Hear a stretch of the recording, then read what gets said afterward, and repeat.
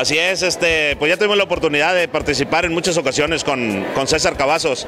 Ahora nos da mucho gusto que sea nuestro dirigente a nivel estatal del partido, eh, igual que la compañera María de Jesús Aguirre, excelente persona.